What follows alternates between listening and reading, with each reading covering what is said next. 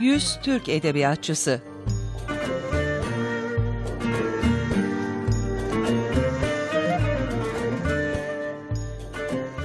Yakup Kadri Karaosmanoğlu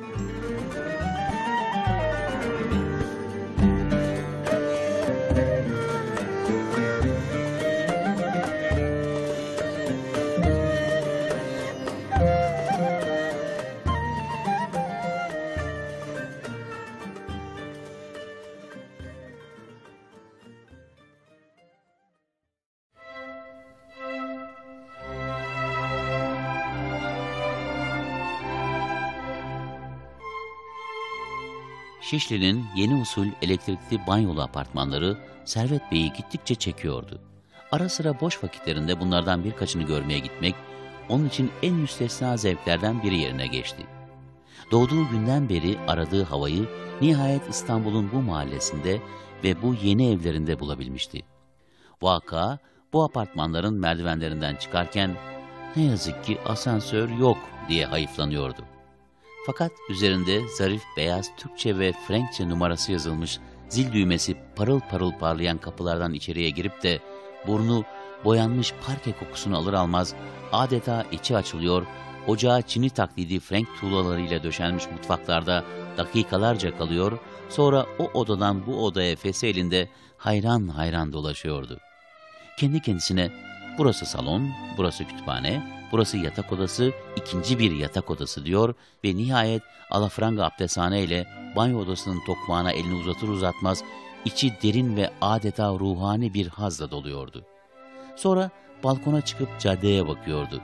Cadde genişliği, gürültüsü, telgraf, telefon, tramvay telleri, otomobilleri, ortasından geçen rayları, duvardaki ilanlarıyla onun beyninde tamamıyla bir Avrupa şehri manzarası canlandırıyordu.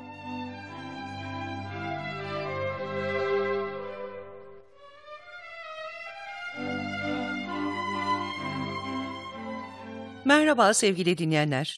Tanınmış, kendi alanında ustalığını tüm yurt coğrafyasında kanıtlamış yazarlarımızın, şairlerimizin hayat hikayelerini anlattığımız Yüz Türk Edebiyatçısı adlı programımıza Yakup Kadri Karaosmanoğlu'nun Kiralık Konak adlı romanından bir bölümle başladık. 1889'da Kahire'de dünyaya gelen Yakup Kadri, Manisa ve çevresinde adı daha çok 17. yüzyıl sonlarında duyulan Karaosmanoğlu ailesinden Abdülkadir Bey ile Mısır Hidivi İsmail Paşa'nın sarayından İkbal Hanım'ın oğludur. Yakup Kadri'nin ilk çocukluk yılları sıcak, renkli, hülya ve efsaneyle dolu bir iklim olan, üzerinde derin izler bırakan Kahire'de geçti. 6 yaşındayken ailesiyle birlikte asıl memleketi olan Manisa'ya döndü. İlk öğrenimini Manisa'da Fevziye İptidai Mektebi'nde yaptı. Yakup Kadri, babasının ani ölümü ve ailenin yeniden Mısır'a dönmesi üzerine idadiyeyi bitirmeden İzmir'den ayrıldı. Mısır'a dönüş onun duygusal kişiliğinin gelişmesi için çok faydalı oldu. Nil Nehri ile ilgili dinlediği efsaneler, tarihi anıtlar Yakup Kadri'yi romantizme sürükledi. Gençlik hatıralarının bir verimi olan Bir Seren Cam, Mısır'da geçen hayatının izlenimleridir. İskenderiye'de Fransızca eğitim veren Frerer Mektebi'nde öğrendiği Fransızca ile özellikle Flaubert'i, Maupassant, Dude'yi ve Ibsen'i okudu.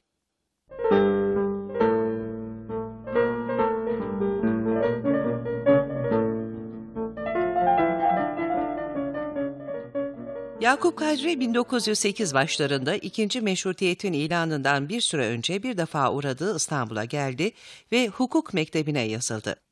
İstanbul'u Halit Ziya'nın romanlarından tanıyan Yakup Kadri, arkadaşı Şahabettin Süleyman'ın aracılığıyla edebiyat dünyasına ilk adımlarını attı. Bir süre sonra Fecri Ati topluluğuna katıldı. 1916'da tedavi için gittiği İsviçre'de 3 yıl kaldı.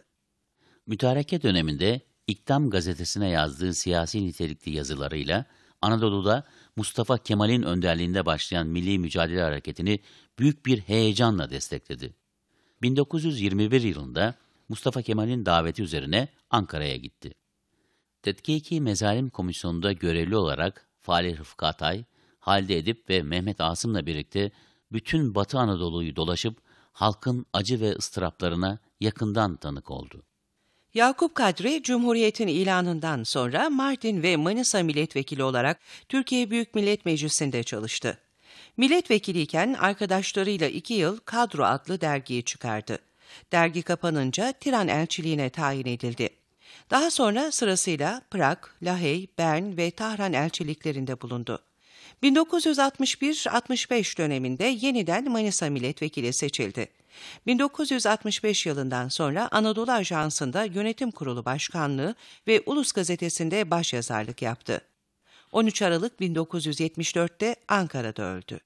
Yakup Kadri, ikinci meşrutiyeti izleyen yıllarda edebiyat hayatına girmiş, Türkiye'de İttihat ve Terakki, Mütareke, Milli Mücadele ve Cumhuriyet dönemlerinde yaşanan bütün toplumsal değişimleri yaşamıştır.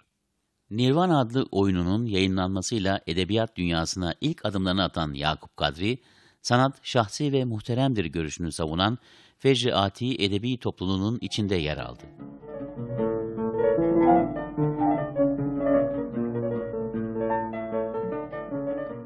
Yakup Kadri'nin kendi kendini arayışı ve sanatı tek bir amaç olarak görmesi Balkan Savaşı'na kadar sürdü.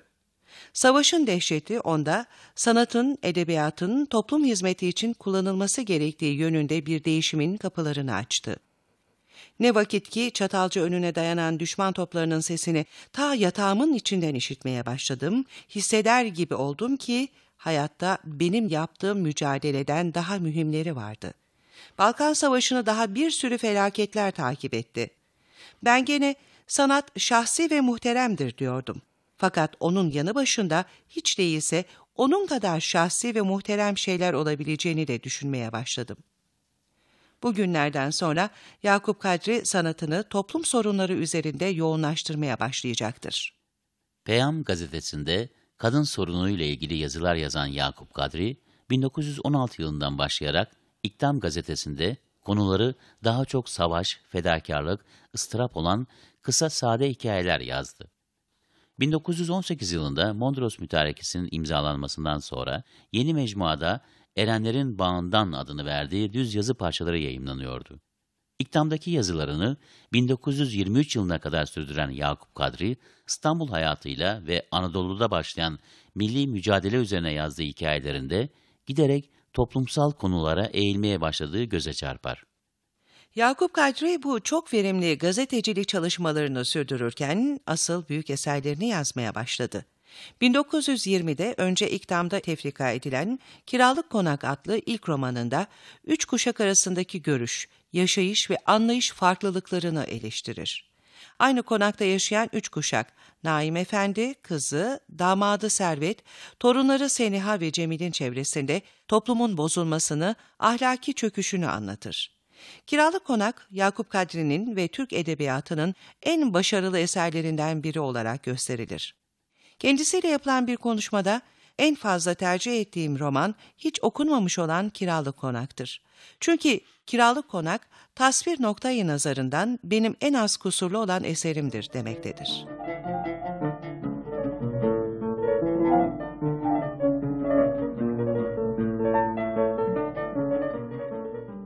Kiralık konaktan sonra Nur Baba'yı yayımlar Yakup Kadri. Roman önce Akşam gazetesinde tefrika edilir.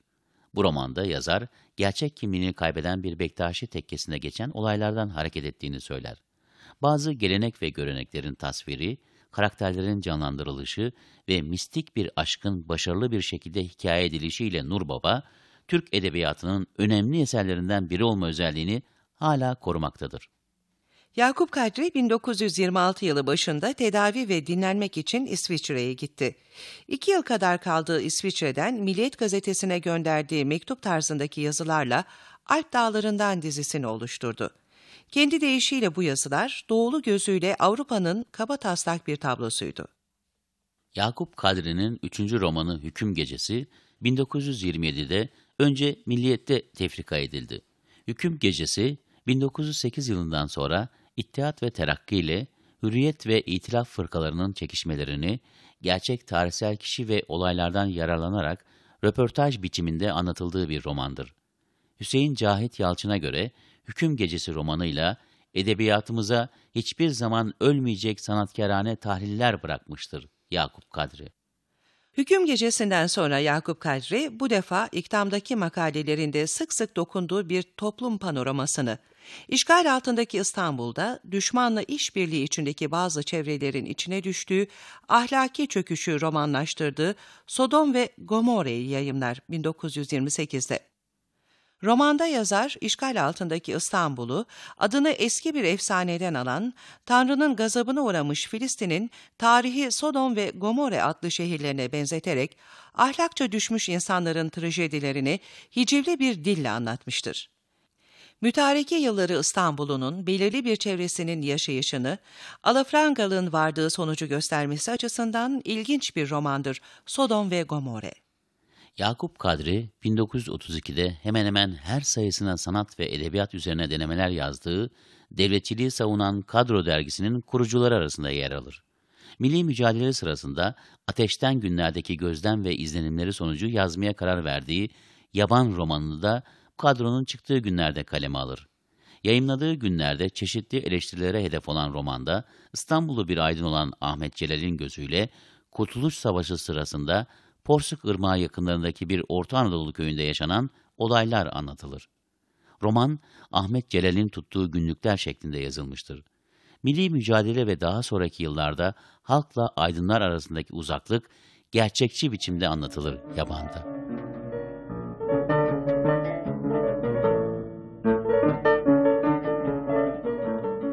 Daha Kurtuluş Savaşı sürerken edindiği izlenimlerin verimi olan Yaban romanı hakkında Yakup Kadri, Porsuk Çayı kenarındaki 3-4 aylık kabusu şuurumun altı 10 yıl durmaksızın yaşamakta devam etmişti.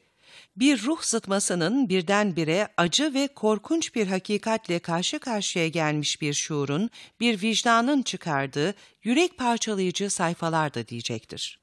Yabanı Ankara adlı romanı izler.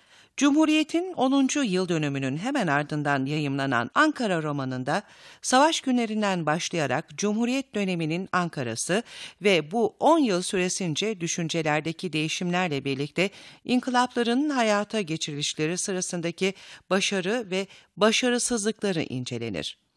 Gelecekteki Türkiye'nin mutlu, düzenli bir resmini çizerek milli mücadele Ankara'sından çıkacak şehrin danslı, süslü püslü, gramofonlu, radyolu evleriyle Yenişehir Ankara'sı değil, müzeleriyle, stadyumlarıyla, laboratuvarlarıyla, hastaneleriyle ve diğer kurumlarıyla hakiki bir Avrupa Ankara'sı olması gerektiğinin kaçınılmazlığını vurgular Yakup Kadri. 1938'de yayınlanan Bir Sürgün romanında Birinci Dünya Savaşı sırasında daha yakından görme fırsatı bulduğu Batı uygarlığının arkasındaki değersiz yanları anlatmaya çalışır.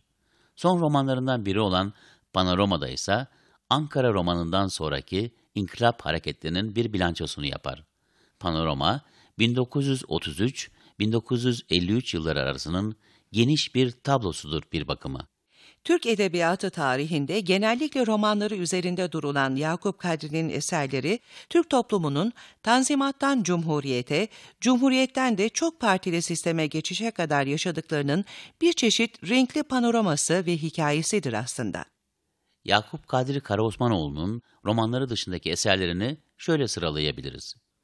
Hikayeleri Bir Serencam, Rahmet, Milli Savaş Hikayeleri, Düz Yazı Şiirleri, Erenlerin Bağından, Okun Ucundan, monografileri Ahmet Haşim, Atatürk, anıları Zoraki Diplomat, Anamın Kitabı, Vatan Yolunda, Politikada 45 Yıl, Gençlik ve Edebiyat Hatıraları, oyunları Sağanak, Nirvana, düz yazıları İzmir'den Bursa'ya, Kadınlık ve Kadınlarımız, seçme yazılar Ergenekon, Alp Dağları'ndan ve Miss Chalfe'nin albümüdür. Sizlere Yakup Kadri Karaosmanoğlu'nu tanıtmaya çalıştık sevgili dinleyenler. Hepinize şiirle, hikayeyle, romanla dolu saatler, günler geçirmenizi diliyoruz. Bir başka Yüz Türk Edebiyatçısı programında buluşabilmek umuduyla esen kalın.